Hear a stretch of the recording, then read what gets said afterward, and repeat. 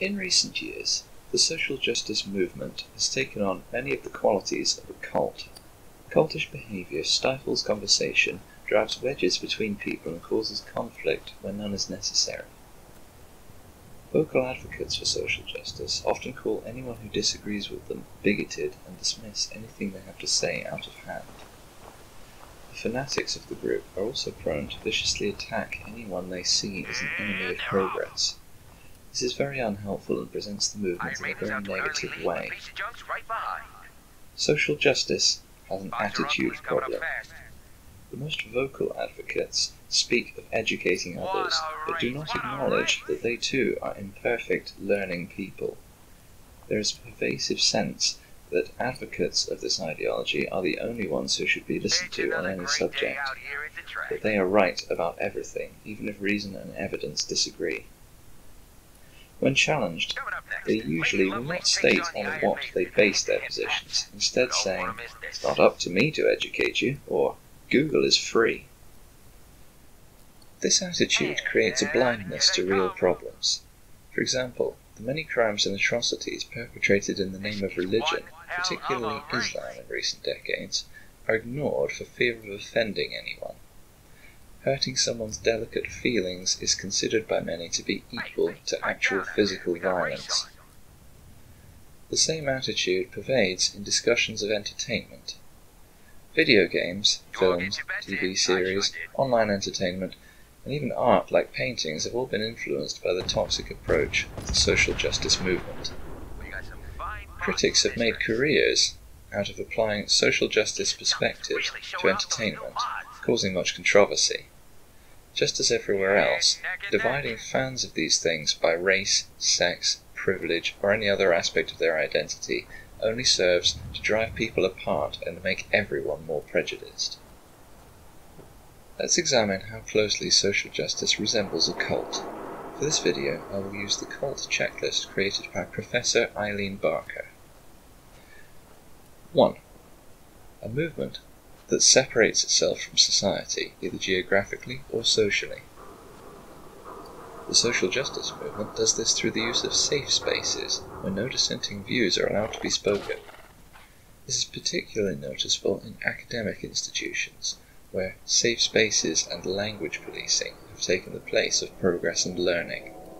So-called social justice courses have become common, although they present few career opportunities to those who take them. Students are often encouraged, sometimes by the staff who teach them, to ignore or silence all dissenting views and fall victim to confirmation bias. 2 adherents who become increasingly dependent on the movement for their view on reality. Adherents to social justice, often calling themselves social justice warriors, are completely dependent on the ideology for their worldview, framing everything through its narrative. Everything is about group identities and level of oppression. Social justice has become a divisive ideology, obsessed with gender, racial, cultural, or any other identity that frames people as part of a demographic rather than as an individual. A person speaking on a subject is no longer just that, a person. That person would now be a cis heteronormative white male oppressor, or a trans non binary black activist. This group focus increases divides and promotes racism and sexism. It has also led to what some have called the Oppression Olympics, where everyone is constantly in competition for who is the most oppressed, or fights the hardest for the minority of the weak, or keeps best track of what specific word is now offensive, or has most brutally put down a white male oppressor recently. 3. Important decisions in the lives of the adherents are made by others. This is indirectly achieved by threatening tactics and ostracizing anyone who makes the wrong decision. Adherents who go against the group are instantly thrown to the metaphorical wolves, receiving often far worse attacks than those the group opposes. The way this is performed is strikingly similar to how Scientology attacks its detractors, though often over social media. Let's compare this. Yes. I'm here. What, what are your crimes against uh, not only Scientology, but uh, what are your crimes against humanity? I'd like to know. I called Hubbard a lunatic charlatan. Oh, I, I want to know what your crimes are against well, humanity. Are you, I, I bet you you're into dope, or are you into what little crimes boy? Have you committed? You're into little boys. What crimes right? have you committed? You drugs, you're dr dealing drugs? You a drug dealer? What crimes have you committed?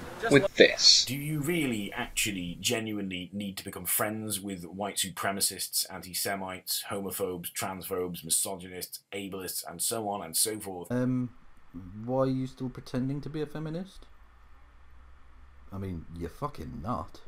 In any realistic sense whatsoever. No, I mean, you've done nothing but pander to these fucking scumbags now for, what, a couple of months or whatever?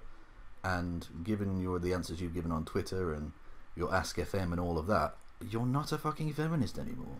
Stop lying. It's ridiculous. Uh, you know, she's inconsistent. She hangs out with racists. That, that's all I need to say. I don't, you know, you do, well, uh, prove they're racist. Fuck you. This is a message simply to Laci Green, who's been going off on Twitter earlier today. Uh, this is really, this is all I've got to say to, to you, Laci. Shut up. 4. Making sharp distinctions between us and them, divine and satanic, good and evil, etc., that are not open for discussion. The movement has adopted call out culture as a form of thought policing. Any dissenting viewpoint is shouted down as bigoted and harmful. This is particularly prevalent on social media, where personal attacks and social ostracism take the place of debate. This doesn't only take place online. So called progressives dug up personal information and attempted to have people removed from their jobs, sent intimidating messages, and even threatened the life and families of those they disagree with, all in the name of social justice. 5. Leaders who claim divine authority for their deeds and for their orders to their followers. This is the only area that is not directly applicable. Social justice is a largely non religious movement and claims no divine knowledge. That being said, the strongest advocates do claim that they are above the bigots they oppose, often with the same fervour of religious preachers. 6. Leaders and movements who are unequivocally focused on achieving a certain goal. As with any ideological group, the social justice movement's actions are deeply rooted in a desire to achieve their goals. While their goals are often laudable, a better, more inclusive, and understanding world, the way they go about pursuing them is not. The divisive, reactionary attitude and cliquish, abrasive purging of dissenters is leaving a trail of disenchanted former allies in the movement's wake. If they could discuss their problems, for example their trivialization of rape or blindness towards oppressive regimes without screaming, I'm offended, or calling everyone a Nazi, their ideas could be discussed openly and critically without name calling and tantrums, the movement could achieve a great deal of good in the world.